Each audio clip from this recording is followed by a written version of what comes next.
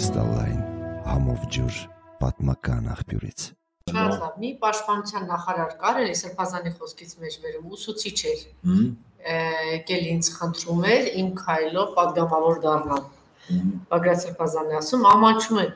ամաչում ենք, որ 44 դրա պատերազմի հերոս տղաների մարմինները տոպրակների մեջ հիվանդանոցի չգիտեմ որ անկյունում դրված էին։ Հիմա դուք զոհերի մասին եք խոսում, դուք եք դա արել, ուրիշ ոչ ոք» մինիհար դե գիտեք չէ ասում են ոնց կարելի այս օրերին բան մինիհար գեր դարձած նախարար կա որ կոչվում է պաշտպանության նախարար ուսուցիչ նա այն մարդն է որ եկել ինձ խնդրում էր հիմա մեզ են ասում հա քաղաքականությամբ եք զբաղվում երկերեսանությունը դա թե չէ Հիմա ես դեպի պաշտպանության նախարարը նույնիսկ մի քիչ վիրավորական էլ այդ հաստիկը ասոցացնեմ Պապիկյան Սուրոյի հետ։ Օրինակ Պապիկյան Սուրոն կրթություն ստացած սպաներին, զինծառայողներին, ճանապարհ անցած, պատերազմով անցած, ընկերներ կորցրած, հարազատներ կորցրած սպաներին օրինակ կոլեգիայի նիստի ժամանակ ասում է սա սաղիթ գցեմ քացուս տակ։ Իսկապես։ Ահա։ Եվ Պապիկյան Սուրոն դա հանդուրժում է։ Եվ հիմա մի վարքյան, սա ամիս ամիսներ առաջ է եղել, ամիսներ առաջ է եղել եւ սա պաշտպանության նախարարն է։ Ես որ ասում եմ սրանց մոտ իրավագողական, ռազմագողականը լրիվ խառնվել է իրար։ Այսինքն պաշտպանության նախարարը ուսադիր կրող սպաներին էական են չի սպաներ ինչ են արձագանքել, ոնց են արձագանքել։ Ես սպաների տեսանկյունից չեմ նայում։ Թեև պահգայս սպաների տեսանկյունից էլ կարելի է արձագանքել ինչևէ։ Պաշտպանության նախարարը, որը կոլեգիայի նիստի ժամանակ ասում է քացու տակ գցեմ Հիմա դու պատկերացեք պատերազմող երկրում պաշտպանության նախարարը իր երկրի սահմանները պահող կյանքը խրամատում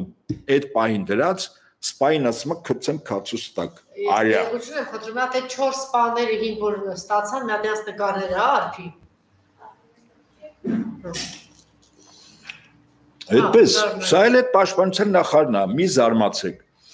ներքին զայրույթ կա բայց երբ որ ամեն ինչ փորձում ենք ավելի համապարփակ նայել, մեր համար ընկալելի է, որ մեր նման երկրներն, որտեղ իշխանության բերել են Փաշինյան Նիկոլին, իր կյանքում ընդհանրապես չկայացած ոչինչի չհասած, կրթություն չունեցող, արեմեցան գրանտների վրա նստած, գործ տվող, ստուկաչություն անող, ինչ որտեղ ազդեցության գործակալ, ինչ որտեղ միգուցե գործակալ, կյանքում չհաստատված, բխծությունների այլասերումների մեջ թաղված, թմրամոլության մեջ թաղված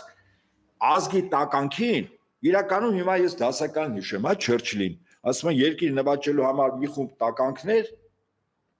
դավաճաններ եւ բազմաթիվ հիմարներ։ Ահավասիկ այս մի խումբ տականքները 20 տարի աճեցվեցին նախկինների ժամանակ, իրեն կարող են հրաշալես ամեն ինչ իմանալ, միգուցե նաև Չերչիլը են կարդացել այդ ամեն ինչը դեմ առնել։ Հիմա իրենք մտածում են, որ դե այդ մի քանի 100 հոգինի չեղարակ դի ստեղծեն։ Բա եկավ իրենց ասին իշխանությունը հանձնում եք ու վերջ, էլ ձեն չանեք։ Տվեցին էս մի խումբ տականքին։ Հստականքն էլ ավելի մեծաթիվ իրականությունը չգնահատող մեր ժողովրդի լայն մասայի մանիպուլացնելով, գայթակղելով, մարդահաճո խոսք ասելով եկան իշխանության կամ բերեցին իշխանության։ Բա հիմա այս իշխանություններից ինչ եք ուզում։ Ինչա Փաշինյանը օրինակ ճորում-ճորում որ խոսում էր էս էս էս էս հիմա 29743 կիլոմետր ինքը որ երկի տարածքը 298-ը ասում է 29743 մի վարքյան հիմա Բա այդ որ Արցախում 10 թվին հորթի հրճվանքով գինովցած ասում էր Արցախը Հայաստանա եւ վերջ հետաքրքիր է այդ Արցախը Հայաստան եւ վերջ մտնում էր այդ 29-ի մեջ Այսինքն այն ժամանակ ինքը առույցի վրա նստած էր։ Ինչու՞։ Որտեղ նախկիների ժառանգել էր բանակ, հաղթած բանակ, պաշտպանված բանակ, զինված բանակ, երկու հանրապետություն ժառանգել էր։ Բայց ես կարծում եմ, որ անգամ ինքը չգիտեր, որ վերջին հաշվով իր նման քաղաքական օրուխին բերել են իշխանության դրա համար, որ վերջում որ վերջում էս ամեն ինչը կորսնի։ Ես եւս երկու օրինակ բերեմ։ Պատկերացրեք Ուրեմն 2000-ականների սկզբին, երբ Սաակաշվիլուն Միացյալ Նահանգները բերեցին իշխանության։ Ինչա Սաակաշվիլին գիտեր, որ Աբխազիա հարավային Օսեթիա կորցնելու։ Կամ Զելենսկուն, որ բերել էին մի քանի տարի Слуга народа ֆիլմն է раскрут կանում։ Ինչու մարդկանց տրամադրեն, որ երկրի ապագա նախագահը սա է։ Հիմա նայեք, նայեք, ուշադրի լսեք։ Եվ այդ առումով, եթե Զելենսկուն իշխանության բերելու ժամանակ իրեն ասեն, որ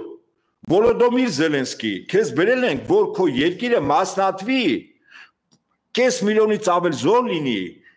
10-ից ավել միլիոն գաղթական լինի, երկիրն էլ ավերված։ Ես վստահաբար եմ ասում, այդ մարդը իշքան էլ կոկային օգտագործող մասնագետը